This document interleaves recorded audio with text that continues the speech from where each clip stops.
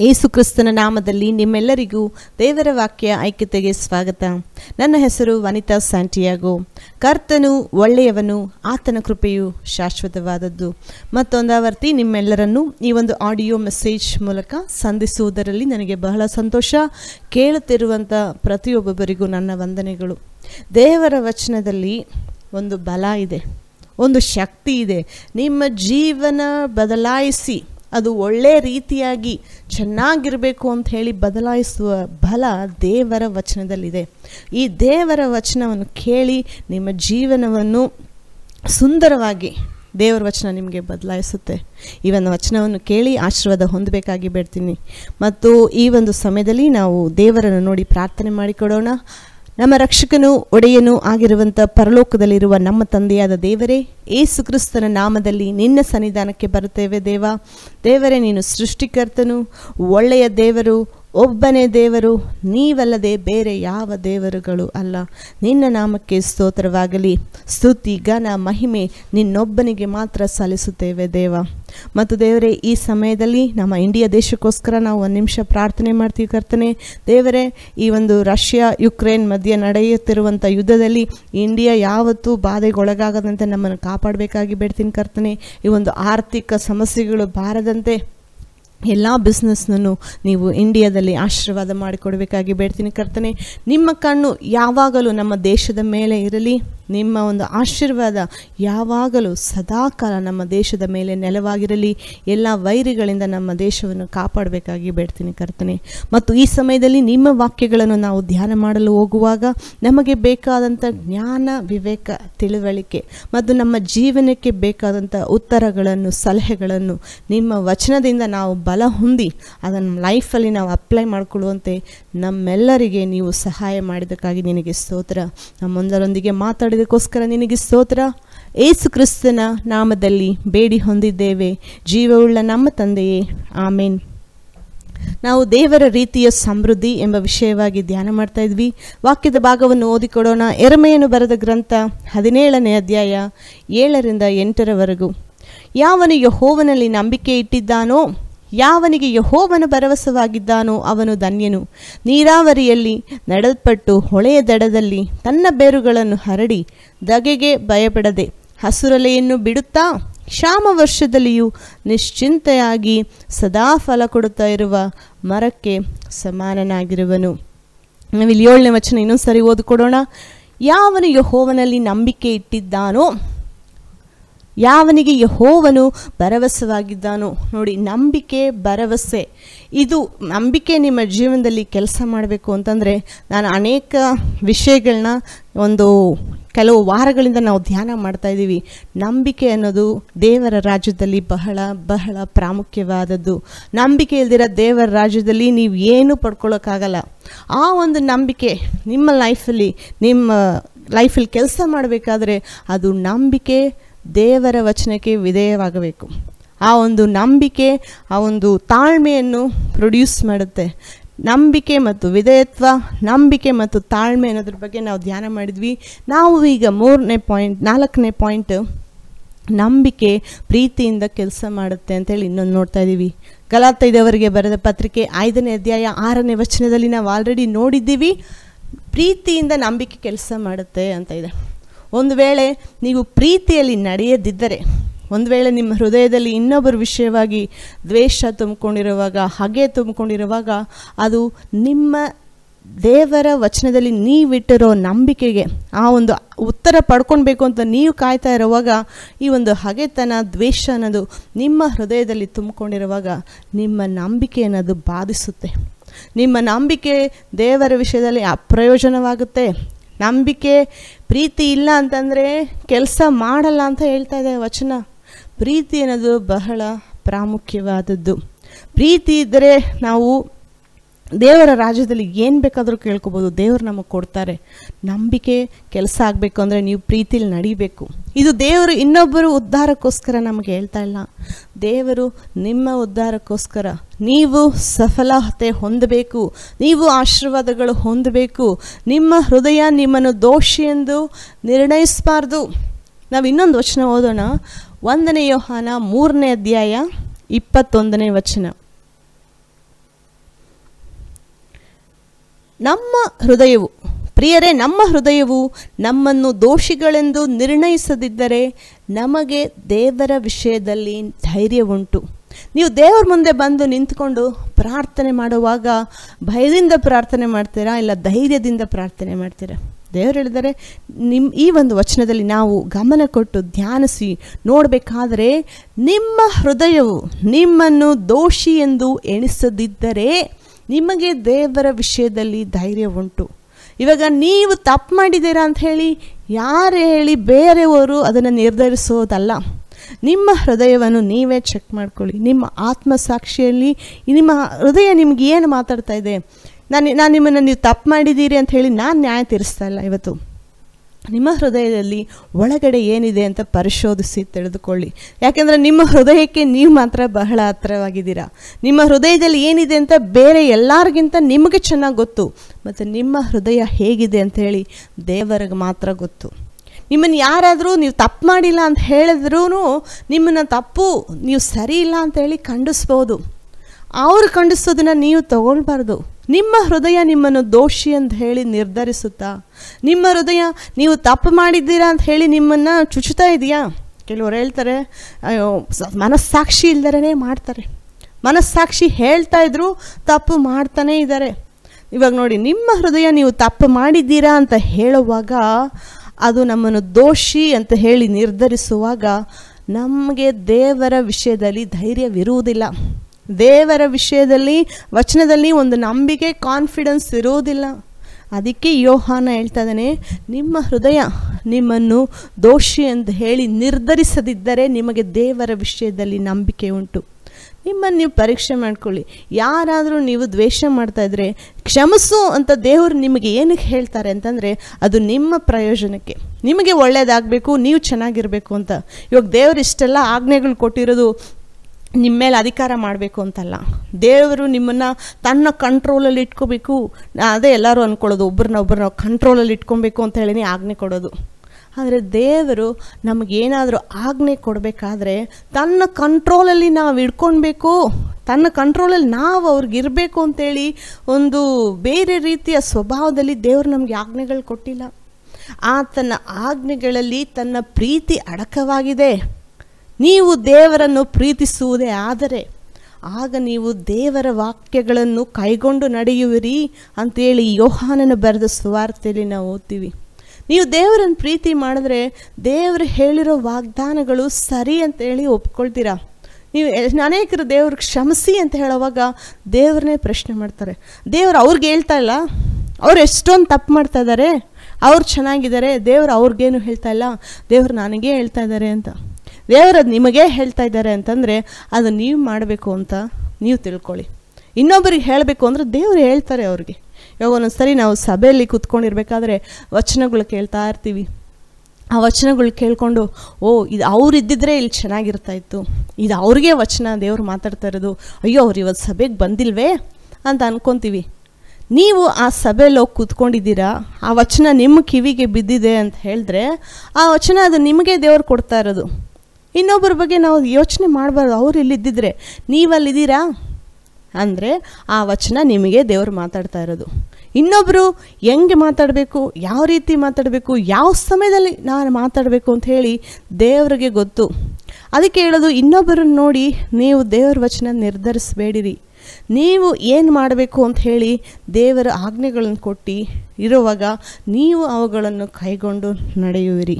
ಆ ದೇವರ ಆಜ್ಞೆಗಳನ್ನು ಕೈಗೊಂಡು ನಡೆಯುವುದರಲ್ಲಿ ಸಂತೋಷವಿದೆ. ದೇವರ ಆಜ್ಞೆಗಳನ್ನು ಕೈಗೊಂಡು ನಡೆಯುವುದರಲ್ಲಿ ಒಂದು ಉಲ್ಲಾಸ, ಒಂದು ಜಯ ಇದೆ ಅದರಲ್ಲಿ. ನೀವು ಜಯ ಹೊಂದಬೇಕು. ಸೈತಾನನ ಎಲ್ಲ ಒಂದು ಕುತಂತ್ರಗಳ ಮೇಲೆ, ಸೈತಾನ ತಗೊಂಡು ಬರುವಂಥ ಎಲ್ಲ ದ್ವೇಷಗಳ ಮೇಲೆ, ಸೈತಾನ ಹಗೆ ದ್ವೇಷ ಎಲ್ಲ ತಗೊಂಡು ಬರೋದು ಅವನು. ದೇವರ ಪ್ರೀತಿ ನಮ್ಮ ಹೃದಯದಲ್ಲಿ ಹಾಕಿದರೆ ದೇವರು, ದ್ವೇಷವನ್ನು ದೇವರು ಹಾಕಿಲ್ಲ ನಮ್ಮ ಹೃದಯದಲ್ಲಿ. ಆದರೆ ಈ ಒಂದು ಹಗೆತನದ ಬೀಜ, ಕ್ಷಮಿಸಬಾರ್ದು ಅನ್ನೋ ಬೀಜ ಸೈತಾನ ಬಿತ್ತಿರೋದು. ಆ ಬೀಜ ನಿಮ್ಮ ಹೃದಯದಲ್ಲಿ ಬೆಳೆಯೋಕ್ಕೆ ಬಿಡಬಾರ್ದು. ಬಿಟ್ಟರೆ ಅದು ಮುಂದೆ ಹಾನಿಕರವಾಗೋದು ಇನ್ನೊಬ್ಬರಿಗಲ್ಲ. ಅದು ನಮಗೇ ಹಾನಿಯಾಗುತ್ತೆ.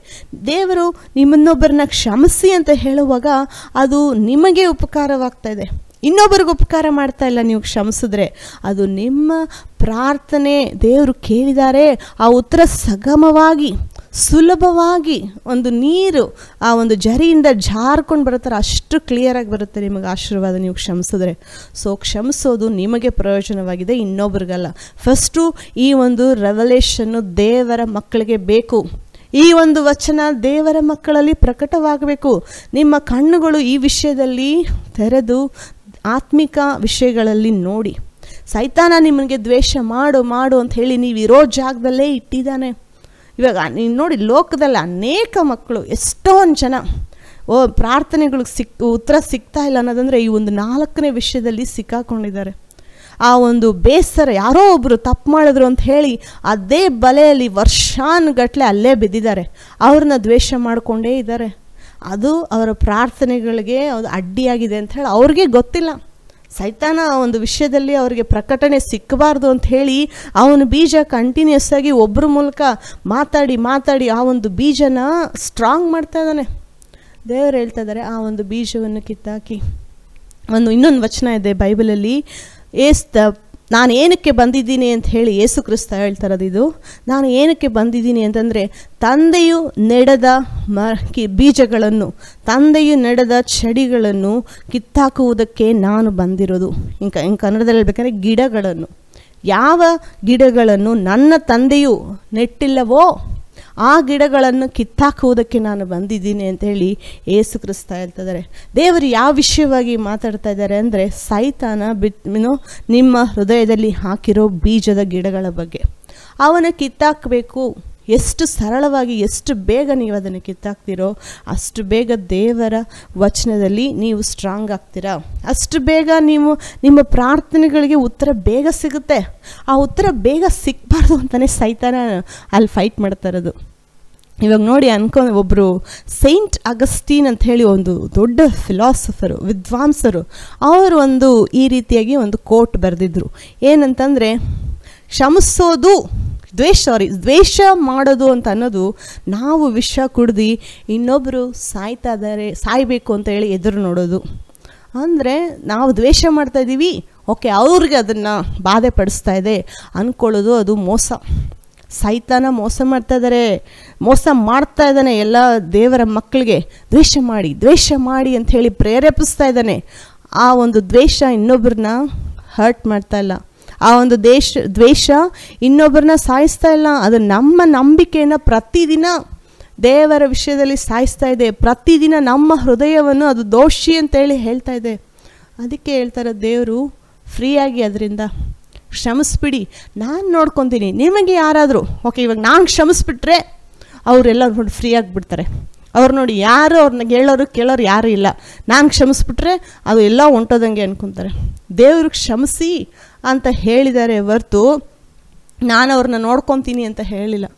ದೇವರು, ನೀವು ನಾನು ಕ್ಷಮಿಸೋದು ನಿನ್ನ ಕೆಲಸ, ನ್ಯಾಯ ತೀರಿಸೋದು ನನ್ನ ಕೆಲಸ. ಅವ್ರಿಗೇನು ಬೇಕೋ ನಾನು ನೋಡ್ಕೊತೀನಿ. ನಾನು ಹೇಳಿರೋದು ನೀನು ಮಾಡು ಅಂತ ದೇವರು ಹೇಳಿರೋದು. ಇವಾಗ ಅಪೋಸ್ತಲರ ಪೌಲನ ಬಗ್ಗೆ ಸ್ವಲ್ಪ ಧ್ಯಾನ ಮಾಡೋಣ.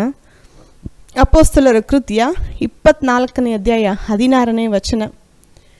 ಇದರ ದೆಸೆಯಿಂದ ದೇವರ ವಿಷಯದಲ್ಲಿಯೂ ಮನುಷ್ಯರ ವಿಷಯದಲ್ಲಿಯೂ ನಾನು ನಿರ್ದೋಷಿ ಎಂದು ಸಾಕ್ಷಿ ಹೇಳುವ ಮನಸ್ಸು ನನಗೆ ಯಾವಾಗಲೂ ಇರಬೇಕೆಂದು ಅಭ್ಯಾಸ ಮಾಡಿಕೊಳ್ಳುತ್ತೇನೆ. ಪೌಲ ನೋಡಿ ಎರಡು ವಿಷಯಗಳು ಮಾತಾಡ್ತಾ ಇದ್ದಾನೆ. ಒಂದು, ನಾನು ದೇವರ ವಿಷಯದಲ್ಲಿ ನಿರ್ದೋಷಿಯಾಗಿರಬೇಕು. ಇನ್ನೊಂದು ಮನುಷ್ಯರ ವಿಷಯದಲ್ಲಿಯೂ ನಾನು ನಿರ್ದೋಷಿಯಾಗಿರಬೇಕು. ಅವನ ಕ್ಯಾರೆಕ್ಟರ್ ಅವನ ಆ್ಯಟಿಟ್ಯೂಡ್ ದೇವರ ಹತ್ರ ಹೇಗಿರಬೇಕು ಮತ್ತು ಮನುಷ್ಯರ ಜೊತೆಗೆ ನಾನು ಯಾವ ರೀತಿ ಬಿಹೇವ್ ಮಾಡಬೇಕು ಅಂತ ಹೇಳಿ ನನ್ನ ಮನಸ್ಸು ನನಗೆ ವಿರೋಧವಾಗಿ ಸಾಕ್ಷಿ ಕೊಡದೀರ ಇರೋ ಥರ ನಾನು ಡೈಲಿ ಅಭ್ಯಾಸ ಮಾಡ್ತಾ ಇದ್ದೀನಿ. ನನ್ನ ಮನಸ್ಸು ನನಗೆ ನೀನು ನಿರ್ದೋಷಿ ಅಂತ ಹೇಳಬಾರ್ದು. ಅದು ದೇವರ ವಿಷಯದಲ್ಲೇ ಆಗಲಿ, ಅಂದರೆ ನಾವು ದೇವರನ್ನೂ ಬೇಸರಗೊಳಿಸಬಾರ್ದು. ಮನುಷ್ಯರನ್ನು ಬೇಸರಗೊಳಿಸಬಾರ್ದು. ಈ ಒಂದು ವಿಷಯದಲ್ಲಿ ನಾನು ಕ್ಲಿಯರ್ ಆಗಿರಬೇಕು ಅಂತ ಹೇಳಿ ನನ್ನ ಮನಸ್ಸಾಕ್ಷಿ ನನಗೆ ತಪ್ಪಾಗಿ ಮಾತಾಡದೇ ಇರೋ ರೀತಿ ನಾನು ಡೈಲಿ ಅಭ್ಯಾಸ ಮಾಡ್ತಾ ಇದ್ದೀನಿ ಅಂತ ಇದೆ. ಅಂದರೆ ಅಭ್ಯಾಸ ಅನ್ನೋದು ಒಂದು ದಿನಚರಿ ಕೆಲಸ. ಡೈಲಿ ಅದನ್ನು ಪ್ರಾಕ್ಟೀಸ್ ಮಾಡಬೇಕು. ಇವಾಗ ಒಂದು ಬೆಳಗ್ಗೆ ಎದ್ದು ಎಕ್ಸ್ ಪ್ರೇಯರ್ ಮಾಡ್ತೀವಿ ಅನ್ನೋದು ದೇವರ ಮಕ್ಕಳು ಅದೊಂದು ಅಭ್ಯಾಸ ಮಾಡ್ಕೊಂಡಿದ್ದಾರೆ. ಡೈಲಿ ಮಾಡೋ ಕಾರ್ಯಗಳು. ಇನ್ನು ಕೆಲವರು ಏನು ಮಾಡ್ತಾರೆ ಅಂದರೆ ಡೈಲಿ ಎದ್ದು ಎಕ್ಸಸೈಸ್ ಮಾಡ್ತಾರೆ ವಾಕಿಂಗ್ ಮಾಡ್ತಾರೆ ಬ್ರೇಕ್ಫಾಸ್ಟ್ ಇದೆಲ್ಲ ದಿನಚರಿ ಕೆಲಸಗಳು. ಇದು ಒಂದು ಅಭ್ಯಾಸವಾಗಿ ನೀವು ಮಾಡ್ಕೊಳ್ಬೇಕು. ಓಕೆ ನಾನು ದೇವರ ವಿಷಯದಲ್ಲಿ ಕರೆಕ್ಟಾಗಿದ್ದೀನಾ ದೇವರನ್ನ ನಾನು ಈ ದಿನ ಏನಾದರೂ ಮನಸ್ಸು ನೋಯಿಸಿದ್ದೀನಾ? ಅಂಥೇಳಿ ಒಂದು ಚೆಕ್ ಮಾಡ್ಕೋಬೇಕು. ಅನೇಕರು ದೇವರನ್ನ ಪ್ರೀತಿ ಮಾಡ್ತಾರೆ. ದೇವರನ್ನ ಪ್ರೀತಿ ಮಾಡೋದು ಈಸಿ ಯಾಕೆ ಅಂದರೆ ಅವರು ಶಿಲುಬೆ ಮೇಲೆ ತನ್ನ ಮಗನನ್ನು ಕೊಟ್ಟಿದ್ದಾನೆ ಅಂತ ಹೇಳಿ ನಂಬಿ ದೇವ್ರನ್ನ ಎಷ್ಟೊಂದು ಜನ ಪ್ರೀತಿ ಮಾಡ್ತಾರೆ ಫಸ್ಟು ಆದರೆ ಅದೇ ದೇವರು ಮನುಷ್ಯರನ್ನು ಸಹ ನೀವು ಪ್ರೀತಿ ಮಾಡ್ರಿ ಅಂತ ಕೂಡ ಆಜ್ಞೆ ಕೊಟ್ಟಿದ್ದಾರೆ. ಇನ್ನೊಂದು ನಾವು ಇನ್ನೊಂದು ಏನು ಬೇಕಂದರೆ, ನಾನು ಯಾಕೆ ಕ್ಷಮಿಸ್ಬೇಕು ಅಂತ ಹೇಳಿ ನೀವು ಕ್ವಶನ್ ಕೇಳ್ಬೋದು. ಇನ್ನೊಂದು ವಚನ ಓದೋಣ ನಾವು. ಅದಕ್ಕೆ ಕೊಲೊಸೆ ಮೂರು, ಹದಿಮೂರು. ಮತ್ತೊಬ್ಬನ ಮೇಲೆ ತಪ್ಪು ಹೊರಿಸುವುದಕ್ಕೆ ಕಾರಣವಿದ್ದರೂ ತಪ್ಪು ಹೊರಿಸದೆ.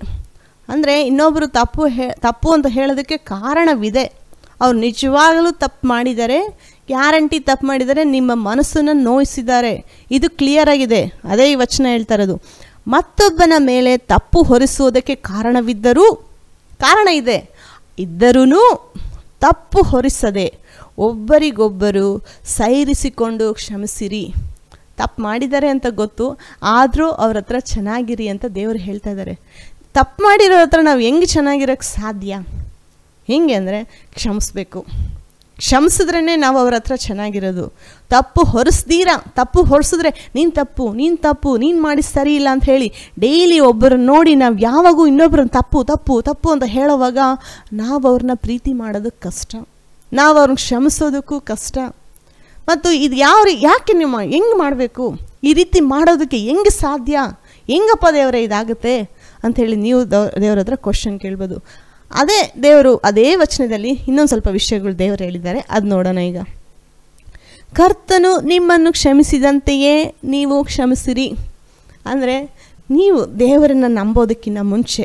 ಇವಾಗೂ ಸಹ ರಕ್ಷಣೆ ಹೊಂದ ಮೇಲೂ ಕೂಡ ದೇವರ ವಾಕ್ಯಗಳನ್ನು ಎಷ್ಟು ಮೀರಿ ನಡೆದಿದ್ದೀರಾ. ನಾನು ಸಹ ದೇವರನ್ನು ನಂಬಿ ದೇವನು ಪ್ರಾರ್ಥನೆ ಮಾಡಿ ಎಷ್ಟೆಲ್ಲ ಮಾಡ್ತೀವಿ. ಆದರೂ ಸಹ ಆ ಒಂದು ದೇವರ ಸ್ಟ್ಯಾಂಡರ್ಡಲ್ಲಿ ತಗೊಂಡ್ರೆ ನಾವೆಲ್ಲರೂ ಡೈಲಿ ತಪ್ಪು ಮಾಡ್ತಾ ಇದ್ದೀವಿ. ನಾವು ಒಂದು ಎಲ್ಲ ಆಜ್ಞೆಗಳನ್ನು ಕೈಗೊಂಡು ನಡೆದಿರುವುದು ಅಂದರೆ ಏಸು ಕ್ರಿಸ್ತನು ಮಾತ್ರ. ಅದೇ ರೋಮಪುರದಲ್ಲಿ ಬರೆದ ಒಂದು ವಚನ ಇದೆ, ಎಲ್ಲರೂ ಪಾಪ ಮಾಡಿ ದೇವರ ಮಹಿಮೆಯನ್ನು ಹೊಂದದೇ ಹೋಗಿದ್ದಾರೆ. ಅಂಥವ್ರಿಗೋಸ್ಕರ ಏಸು ಕ್ರಿಸ್ತ ಶಿಲುಬೆ ಮೇಲೆ ಬಲಿಯಾದನು. ನಾವಿನ್ನೂ ಪಾಪಿಗಳಾಗಿದ್ದಾಗಲೇ ನಾವಿನ್ನೂ ಒಂದು ಒಳ್ಳೆ ಕೆಲಸನೂ ಮಾಡಿಲ್ಲ. ದೇ, ಆ ಒಂದು ಪಾಪಿಗಳು ಅನ್ನೋ ಸ್ಥಾನದಲ್ಲಿ ಇರುವಾಗ ನಾವು ದೇವರು ನಮಗೆ ವಿರೋಧಿಯಾಗಿದ್ರು ಅವಾಗ. ದೇವರ ಕೋಪ ನಮ್ಮ ಮೇಲೆ ಇತ್ತು. ಅಂದರೆ ಇನ್ನು ಪಾಪ ಪಾಪಿಗಳು ಮಾಡಿದ್ದೀವಿ. ದೇವರ ಸನ್ನಿಧಾನದಲ್ಲಿ ಎಷ್ಟೋ ತಪ್ಪುಗಳನ್ನು ಮಾಡಿದ್ದೀವಿ. ದೇವರನ್ನು ಎಷ್ಟೋ ನೋಯಿಸಿದ್ದೀವಿ. ದೇವರ ನಮ್ಗೆ ಎಷ್ಟೊಂದು, ಅಂಥ ಸಮಯದಲ್ಲೂ ಕೂಡ ಏಸು ಕ್ರಿಸ್ತ ನಾವು ಇನ್ನೂ ಒಳ್ಳೆ ಕಾರ್ಯಗಳು ಮಾಡದೇ ಇರುವಾಗೂ ಸಹ, ಇನ್ನೂ ಆತನನ್ನು ದೇವರೇ ನೀನೇ ನನ್ನ ದೇವರನ್ನು ಕರೆಯೋದಕ್ಕಿಂತ ಮುಂಚೆಯೇ ಕ್ರಿಸ್ತನು ಪಾಪಿಗಳಿಗೋಸ್ಕರ ತನ್ನ ಪ್ರಾಣ ಕೊಟ್ಟನು ಅಂತ ಇದೆ. ಪಾಪಿಗಳಿಗೋಸ್ಕರ ಏನಕ್ಕೆ ಪ್ರಾಣ ಕೊಟ್ಟ ಅಂತ ಹೇಳಿದ್ರೆ, ನಿಮ್ಮ ಪಾಪ ನಿವಾರಣೆ ಮಾಡಿದ್ರು ದೇವರು. ನೀವಿನ್ನೂ ಒಂದು ಒಳ್ಳೆ ಕಾರ್ಯ ಮಾಡದೇ ಇರಬೇಕಾದ್ರೆ, ನೀವಿನ್ನೂ ದೇವರನ್ನು ಪ್ರೀತಿಸೇ ಇಲ್ಲ ಇನ್ನು. ಆವಾಗಲೇ ಕ್ರಿಸ್ತ ಯೇಸು ನಮ್ಮ ಮೇಲೆ ಇಟ್ಟ ಪ್ರೀತಿಯನ್ನು ಶಿಲುಬೆಯ ಮೇಲೆ ಒಂದು ಶ್ರಮ ಮರಣಗಳನ್ನು ಅನುಭವಿಸುವಾಗ ತನ್ನ ಆತನು ನಮ್ಮ ಮೇಲೆ ಇಟ್ಟ ಪ್ರೀತಿಯನ್ನು ದೇವರು ಸಿದ್ಧಾಂತಪಡಿಸಿದನು ಅಂತ ಇದೆ. ದೇವರು ನಾವು ಎಷ್ಟು ತಪ್ಪು ಮಾಡಿದರೂ ನಮ್ಮನ್ನು ಕ್ಷಮಿಸಿದ್ದಾರೆ. ಕ್ರಿಸ್ತ ಏಸುವಿನಲ್ಲಿ ದೇವರು ನಮ್ಮನ್ನು ಕ್ಷಮಿಸಿದ್ದಾರೆ. ಏಸು ಕ್ರಿಸ್ತ ನಮ್ಮನ್ನು ಕ್ಷಮಿಸಿದ್ದಾರೆ. ನಾವೆಲ್ಲ ನರಕಕ್ಕೆ ಹೋಗಬೇಕಾಗಿತ್ತು. ಏಸು ಕ್ರಿಸ್ತ ಶಿಲುಬೆ ಮೇಲೆ ಕಾರ್ಯ ಮಾಡಿಲ್ಲ ಅಂತಂದರೆ ಅಂಥ ದೇವರು ನಮ್ಮನ್ನು ಕ್ಷಮಿಸಿರ್ಬೇಕಾದ್ರೆ ನೀವು ಸಹ ಇನ್ನೊಬ್ಬರನ್ನ ಕ್ಷಮಿಸಿರಿ. ಹೆಂಗೆ ಕ್ಷಮಿಸೋದಕ್ಕೆ ಸಾಧ್ಯ? ಅದೇ ದೇವ್ರು ಹೇಳ್ತಾ ಇರೋದು ನಾನು ನಿನ್ನ ಕ್ಷಮಿಸಿದ್ದೀನಲ್ವಾ? ನೀನು ಎಷ್ಟೋ ತಪ್ಪು ಮಾಡಿದ್ದೆ ಎಷ್ಟೊಂದು ನೀನು ನನ್ನ ವಾಕ್ಯಗಳ ಪ್ರಕಾರ ನೀನು ನಡೆದಿಲ್ಲ. ನಿನ್ನ ಮೇಲೆ ನಾನು ದಯ ತೋರಿಸಿದ್ದೀನಿ ನಿನ್ನ ಮೇಲೆ ನಾನು ಕರುಣೆ ತೋರಿಸಿದ್ದೀನಿ, ನಾನು ಕ್ಷಮಿಸಿದ್ದೀನಿ. ಅದೇ ನೀವು ಇನ್ನೊಬ್ರಿಗೆ ಮಾಡ್ರಿ ಅಂತ ದೇವ್ರು ಕೇಳ್ತಾ ಇರೋದು ಒಂದು ವೇಳೆ ನಮ್ಮ ಹತ್ರ ಇಲ್ಲ ಅಂದರೆ ನಾವು ಅದು ಇನ್ನೊಬ್ರಿಗೆ ಕೊಡೋಕ್ಕಾಗಲ್ಲ. ಇವಾಗ ನಾನು ಇನ್ನೊಬ್ಬರನ್ನ ಕ್ಷಮಿಸೋದಕ್ಕೆ ಸಾಧ್ಯ? ಹೇಗೆ ಅಂತಂದರೆ, ನಾನು ಆ ಕ್ಷಮೆ ಅನ್ನೋದನ್ನು ನಾನು ಅನುಭವಿಸಿದ್ದೀನಿ. ಅದೊಂದು ಎಕ್ಸ್ಪೀರಿಯನ್ಸ್ ಆಗಿದೆ ದೇವರ ಹತ್ರ ನನ್ನ ಜ ನನಗೆ. ದೇವರೇ ನನ್ನನ್ನು ಕ್ಷಮಿಸಿದ್ದಾನೆ ಅಂಥೇಳಿ ನನಗೆ ಮನ ಅರಿವಾಗಿದ್ದೆ ಆ ಒಂದು ಎಕ್ಸ್ಪೀರಿಯನ್ಸ್ ಇದೆ. ಪಡ್ಕೊಂಡಿದ್ದೀನಿ ಹೊಂದ್ಕೊಂಡಿದ್ದೀನಿ ಕ್ಷಮೆ ದೇವರ ಹತ್ರ. ದೇವರ ದಯೆ ಹೊಂದ್ಕೊಂಡಿದ್ದೀನಿ ಅದೇ ಹೇಳೋದು, ನೀನು ಹೊಂದ್ಕೊಂಡಿದೀಯಲ್ವಾ? ಅದನ್ನೇ ಇನ್ನೊಬ್ರಿಗೆ ಕೊಡು. ಇನ್ನೊಬ್ಬರು ಏನು ಮಾಡ್ತಾರೆ, ಏನು, ಅವ್ರು ಯಾವ ರೀತಿ ನಡ್ಕೊತಾರೆ ಅನ್ನೋದನ್ನು ನಾವು ದೇವರ ಹತ್ರ ಲೆಕ್ಕ ಕೊಡಬೇಕಾಗಿಲ್ಲ. ನೀವು ಲೆಕ್ಕ ಕೊಡಬೇಕಾಗಿರೋದು ನೀವೇನು ಮಾಡ್ತಾ ಇದ್ದೀರೋ ಅದಕ್ಕೆ ಮಾತ್ರನೇ ಲೆಕ್ಕ ಕೊಡಬೇಕಾಗಿರೋದು. ದೇವ್ರು ಹೇಳೋದು, ನಿಮ್ಮ ಪ್ರಾರ್ಥನೆಗಳು ಉತ್ತರ ಸಿಕ್ಕಬೇಕು ಅಂತಂದರೆ ನೀವು ಕ್ಷಮಿಸಬೇಕು. ಇನ್ನೊಂದು ವಚನ ನೋಡೋಣ. ಮತ್ತಾಯನ್ನು ಬರೆದ ಸುವಾರ್ತೆ ಐದನೇ ಅಧ್ಯಾಯ ಇಪ್ಪತ್ತ್ಮೂರನೇ ವಚನ. ಆದ ಕಾರಣ ನೀನು ನಿನ್ನ ಕಾಣಿಕೆಯನ್ನು ಯಜ್ಞವೇದಿಯ ಹತ್ತಿರಕ್ಕೆ ತಂದಾಗ ನಿನ್ನ ಸಹೋದರನ ಮನಸ್ಸಿನಲ್ಲಿ ನಿನ್ನ ಮೇಲೆ ಏನೋ ವಿರೋಧವದೆ ಎಂಬುದು ನಿನ್ನ ನೆನಪಿಗೆ ಬಂದರೆ. ಜಸ್ಟ್ ನಿಮ್ಮ ಮೈಂಡಲ್ಲಿ ಬಂದ್ರೇ ಒಂದು ಕಾಣಿಕೆ ಅರ್ಪಿಸುವಾಗ, ಕಾಣಿಕೆ ಕೊಡುವಾಗ ಸಡನ್ನಾಗಿ ನಿಮ್ಮ ಮೈಂಡಲ್ಲಿ ಬಂತು ಅಂದ್ಕೊಳ್ಳಿ. ಆವಾಗ ನಿನ್ನ ಹೃದಯ ನಿಮ್ಮನ್ನು, ದೋಷಿ, ನೀನು ತಪ್ಪು ಮಾಡಿದ್ಯಾ? ಅಂತೇಳಿ ಹೇಳ್ತು ಅಂತೇಳಿ ಇಮ್ಮಿಡಿಯೇಟಾಗಿ ಆ ಸಮಯದಲ್ಲಿ ನೀವು ಏನು ಮಾಡಬೇಕು ಅಂತ ಇಲ್ಲಿ ಹೇಳ್ತಾ ಇರೋದು. ನಿಮ್ಮ ನೆನಪಿಗೆ ಬಂದಾಗ ನಿನ್ನ ಕಾಣಿಕೆಯನ್ನು ಆ ಯಜ್ಞವೇದಿಯ ಮುಂದೆಯೇ ಬಿಟ್ಟು ಹೋಗಿ ಮೊದಲು ನಿನ್ನ ಸಹೋದರನ ಸಂಗಡ ಒಂದಾಗು, ಆಮೇಲೆ ಬಂದು ನಿನ್ನ ಕಾಣಿಕೆಯನ್ನು ಕೊಡು. ದೇವರು ಇದೇನು ಕೇಳ್ತಾನೆ ಅಂದರೆ, ನಿಮ್ಮ ಕಾಣಿಕೆಯನ್ನು ನಾನು ಅಕ್ಸೆಪ್ಟ್ ಮಾಡಬೇಕು ಅಂದರೆ, ನೀವು ಕೊಡೋ ಕಾಣಿಕೆಯನ್ನು ನಾವು, ನಾನು ಒಪ್ಪಿಕೊಂಡು ಅದನ್ನು ಅಂಗೀಕರಿಸ್ಕೊಳ್ಬೇಕು ಅಂತಂದರೆ, ನೀನು ಮೊದಲು ಹೋಗಿ ನಿನ್ನ ಸಹೋದರನ ಸಂಗಡ ಒಂದಾಗು. ಒಂದಾದ ಮೇಲೆ ದೇವ್ರು ಹೇಳ್ತಾರೆ, ಕಾಣಿಕೆನೇ ಅರ್ಪಿಸ್ಬೇಡ ನೀನು ಒಂದಾಗೋವರೆಗೂ. ಯಾಕೆಂದರೆ ಅರ್ಪಿಸಿದ್ರು ಅದು ವೇಸ್ಟ್ ನಾನು ನಾನು ಅದನ್ನು ಸ್ವೀಕಾರ ಮಾಡಲ್ಲ ಅಂತ ದೇವ್ರು ಹೇಳ್ತಾ ಇರೋದು. ಯಾಕೆಂದರೆ ಅಡ್ಡ ಬರ್ತಾ ಇದೆ ಅದು. ಮನಸ್ಸಾಕ್ಷಿ ವಿರುದ್ಧವಾಗಿ ಮಾತಾಡ್ತಾ ಇದೆ ಅದು ಒಳಗಡೆ. ಅದೇ ನಿಮ್ಮ ಮನಸ್ಸಾಕ್ಷಿ ನಿಮಗೆ ವಿರುದ್ಧವಾಗಿ ಮಾತಾಡುವಾಗ ಅದು ನಿಮಗೆ ದೇವರ ವಿಷಯದಲ್ಲಿ ಒಂದು ಧೈರ್ಯವನ್ನು ಉಂಟು ಮಾಡಲ್ಲ. ದೇವರು ನನ್ನ ಪ್ರಾರ್ಥನೆ ಕೇಳಿದಾನೆ, ಉತ್ತರ ಕೊಡ್ತಾನೆ ಅಂತ ಹೇಳೋ ಒಂದು ಕಾನ್ಫಿಡೆನ್ಸ್ ನಿಮಗೆ ಬರೋದಿಲ್ಲ. ಅದಕ್ಕೆ ಮನಸ್ಸು ಕ್ಲಿಯರ್ ಆಗಿಟ್ಕೊಳ್ಳಿ. ಮನಸ್ಸಾಕ್ಷಿ ಕ್ಲಿಯರ್ ಆಗಿಟ್ಕೊಳ್ಳಿ. ಓಕೆ ನೀವು ತಪ್ಪು ಮಾಡಿದ್ದೀನಿ ಅಂತ ಹೇಳಿ ಅರಿವಾದರೆ ಮೊದಲು ಹೋಗಿ ಒಂದಾಗಿ ಅಂತ ಹೇಳೋದು. ಇವಾಗ ಒಂದಾಗ್ತೀರಾ ತಪ್ಪು ಮಾಡಿದ್ವಿ ಅಂತ ಹೇಳಿ ಹೋಗಿ ಸಾರಿ ಕೇಳ್ಕೊತೀರಾ? ಆದರೂ ಸಹ ಕೆಲವರು ನಿಮ್ಮನ್ನು ಕ್ಷಮಿಸಲ್ಲ. ಹಾಂ ಎಲ್ಲ ಮಾಡೋದಲ್ಲ ಮಾಡಿಬಿಟ್ಟು ಸಾರಿ ಕೇಳ್ತಾ ಇದೀಯಾ? ನನಗೆ ನಿನ್ನ ಹತ್ರ ಇಷ್ಟ ಇಲ್ಲ ಅಂತ ಹೇಳ್ತಾರೆ. ಆ ಸಮಯದಲ್ಲಿ ನೀವು ಮಾಡಬೇಕಾಗಿರೋದು ಇಷ್ಟೇ. ಹೋದ್ರಾ? ನಿಮ್ಮ ಕೆಲ ದೇವ್ರು ಹೇಳಿರೋದು, ಅವರು ನಿಮ್ಮ ಜೊತೆ ಒಂದೇ ಆಗ್ತಾರೆ ನಿಮ್ಮ ಜೊತೆ ಕರೆಕ್ಟಾಗೇ ಇರ್ತಾರೆ, ಚೆನ್ನಾಗಿರ್ತಾರೆ ಅಂತ ಹೇಳಿ ದೇವ್ರು ನಿಮ್ಮನ್ನು ಕಳಿಸ್ತಾ ಇಲ್ವಾ? ಒಂದು ವೇಳೆ ಅವ್ರು ನಿಮ್ಮನ್ನು ರಿಜೆಕ್ಟ್ ಮಾಡ್ಬೋದು. ನೀವು ಕ್ಷಮಿಸ್ತೀನಿ ಅಂತ ಹೇಳಿದ್ರು, ಅವ್ರು ನಿಮ್ಮ ಜೊತೆ ಒಂದಾಗೋದಕ್ಕೆ ರೆಡಿಯಾಗಿಲ್ಲ ಆ ಸಮಯದಲ್ಲೂ ಸಹ ನೀವು ಹೋಗಿ ಒಂದು ಮಾತು ಹೇಳಬೇಕು ಟ್ರೈ ಮಾಡಲೇಬೇಕು. ಅವ್ರು ಹೆಂಗೆ ರಿಯಾಕ್ಟ್ ಆಗ್ತಾರೋ ಅದು ನಿಮಗೆ ಬಿಸ್ ಸಂಬಂಧಪಟ್ಟಿದ್ದಲ್ಲ, ಅದು ದೇವರು ನೋಡ್ಕೊತಾರೆ. ಆ ಒಂದು ಸಮಯದಲ್ಲಿ ಒಂದಾದಾಗ ಅವ್ರು ಬೇಡ ಅಂತ ಹೇಳುವಾಗ ನೀವೇನು ಮಾಡಬೇಕು, ಓಕೆ, ಆದರೂ ಕ್ಷಮಿಸಿದ್ದೀನಿ ಯಾಕೆಂದರೆ ನನ್ನ ಕಾಣಿಕೆ ದೇವರು ಒಪ್ಕೋಬೇಕು. ಅದಕ್ಕೋಸ್ಕರ ದೇವ್ರು ಹೇಳಿದ್ದಾನೆ ಅಂತ ಹೇಳಿ ಕ್ಷಮಿಸಿ ಬರಬೇಕು. ಅದಾದಮೇಲೆ ಅವ್ರು ಏನು ಮಾಡ್ತಾರೋ ಅದು ನಿಮಗೆ ಸಂಬಂಧ ಇಲ್ಲದವ್ರ ಕೆಲಸ. ಅದಕ್ಕೆ ದೇವರು ಹೇಳೋದು, ನಿನ್ನ ಕಾಣಿಕೆ, ನನ್ನ ಒಪ್ಕೊಳ್ಬೇಕು ಅಂತಂದರೆ ನೀನು ಫ್ರೀಯಾಗಿರು ಮತ್ತು ನಾನು ಕ್ಷಮಿಸಿದ್ದೀನಿ ಅಂತಂದರೆ ಹೋಗಿ ಅವ್ರ ಜೊತೆ ಮತ್ತೆ ಮತ್ತೆ ಏನೋ ರಿಕ್ವೆಸ್ಟ್ ಮಾಡೋದಲ್ಲ ನನ್ನ ಜೊತೆ ಚೆನ್ನಾಗಿರು ನನ್ನ ಜೊತೆ ಚೆನ್ನಾಗಿರು, ಅಯ್ಯೋ ನೀನಿಲ್ಲ ಅಂದರೆ ನಾನು ಇರಲ್ಲ. ಹಂಗಲ್ಲ ದೇವ್ರು ಹೇಳ್ತಾ ಇರೋದು. ಕ್ಷಮಿಸಾದ್ಮೇಲೆ ನೀವು ಅವ್ರು ಒಪ್ಕೊಂಡಿಲ್ಲ ಅಂತಂದರೆ ಮಾಡಬೇಕಾಗಿರೋದು ಇಷ್ಟೇ ಕೆಲಸ. ಅವ್ರಿಗೋಸ್ಕರ ಪ್ರೇಯರ್ ಮಾಡಿ. ಮತ್ತು ಅವ್ರ ಬಗ್ಗೆ ನೀವು ದ್ವೇಷ ಮಾಡಬೇಡಿ. ಅವ್ರು ನಿಮಗೆ ಮಾಡಿರೋ ತಪ್ಪುಗಳನ್ನ ಇನ್ನೊಬ್ಬರ ಹತ್ರ ಮಾತಾಡ್ತಾ ಇರಬೇಡಿ. ಮತ್ತು ಅವ್ರಿಗೋಸ್ಕರ ಪ್ರೇಯರ್ ಮಾಡಿ. ಅವ್ರನ್ನ ದೇವರ ಪ್ರೀತಿಯಲ್ಲಿ, ದೇವರು ನಿಮ್ಮನ್ನು ಪ್ರೀತಿ ಮಾಡಿರೋ ತಕ್ಕ ಪ್ರಕಾರ ಪ್ರೀತಿ ಮಾಡಿ. ಕೆಲವರು ಮಾತಾಡೋದಕ್ಕೆ ಇಷ್ಟಪಡಲ್ಲ. ಅಂಥವ್ರ ಬಗ್ಗೆ ಏನು ಮಾಡೋದು? ಮಾತಾಡೋಕ್ಕೆ ಇಷ್ಟಪಟ್ಟಿಲ್ಲ ಅಂದರೂ ಅವ್ರನ್ನ ಸ್ವಲ್ಪ ದೂರ ಇಟ್ಟು ಅವ್ರು ಚೆನ್ನಾಗಿರಬೇಕು ಅಂತೇಳಿ ದೇವ್ರ ಹತ್ರ ಪ್ರಾರ್ಥನೆ ಮಾಡಿ. ಅದು ಕ್ಷಮಿಸಿರೋ ಥರನೇ ಅವ್ರ ಬಗ್ಗೆ ನೆಗೆಟಿವ್ ಆಗಿ ಪಕ್ಕದ ಮನೆಯವ್ರ ಹತ್ರ, ಅಕ್ಕಪಕ್ಕದವ್ರ ಹತ್ರ ಬಿಲೀವರ್ಸ್ ಹತ್ರ ಹೋಗಿ ಹೇಳ್ತಾನೆ ಇರಬಾರ್ದು. ಇನ್ನೊಬ್ಬರ ತಪ್ಪುಗಳನ್ನು ನಾವು ಹೋಗಿ ಎಲ್ಲರ ಮುಂದೆ ಪ್ರಚಾರ ಮಾಡಬಾರ್ದು. ಕ್ಷಮಿಸಿದ್ದೀವಿ ಅಂದರೆ ನಾವು ಅವ್ರ ಬಗ್ಗೆ ಪ್ರಚಾರ ಮಾಡಲ್ಲ. ಕ್ಷಮಿಸಿದ್ದೀವಿ ಅಂದರೆ ಅದರ ಬಗ್ಗೆ ನಾವು ತಿರುಗ ತಿರುಗ ಮಾತಾಡೋದಿಲ್ಲ. ಇವೆಲ್ಲ ನೋಡಿ ಪ್ರಾಕ್ಟಿಕಲ್ ಅಪ್ಲಿಕೇಶನ್ಸ್ ನಮ್ಮ ಪ್ರಾರ್ಥನೆಗೆ ದೇವರು ಉತ್ತರ ಕೊಡಬೇಕು ಅಂತ ಹೇಳಿ ನೋಡಿ, ಈ ಒಂದು ನಂಬಿಕೆ, ಈ ಒಂದು ವಿಧೇಯತ್ವ, ಮತ್ತು ತಾಳ್ಮೆಯಿಂದ ದೇವರ ಸನ್ನಿಧಾನದಲ್ಲಿ ವೆಯ್ಟ್ ಮಾಡೋದು ಮತ್ತು ನಿರ್ದೋಷಿಯಾಗಿ, ನಾನು ಕರೆಕ್ಟಾಗಿರ್ತೀನಿ ಪರ್ಫೆಕ್ಟಾಗಿರ್ತೀನಿ ಅಂತ ಯಾರೂ ಹೇಳೋಕ್ಕಾಗಲ್ಲ.